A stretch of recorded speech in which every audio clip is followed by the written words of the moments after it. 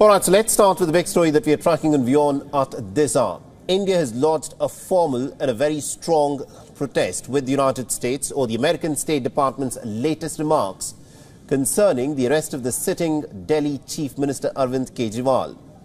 Now, earlier in the day, New Delhi had summoned the US's acting Deputy Chief of Mission, Gloria Berbena, to the Ministry of External Affairs and then handed over a strongly worded demarche to her.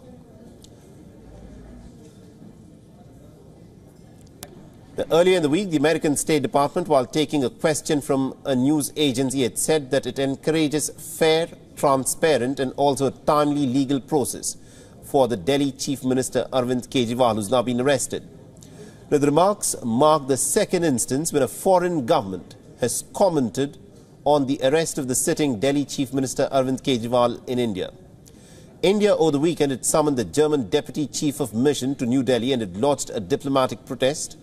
The External Affairs Ministry had emphasized that remarks such as these are tantamount to foreign interference in India's judicial process and they undermine the independence of India's judiciary.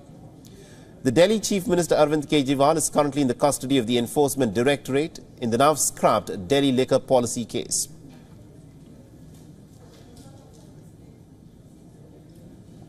For all the latest news, download the WION app and subscribe to our YouTube channel.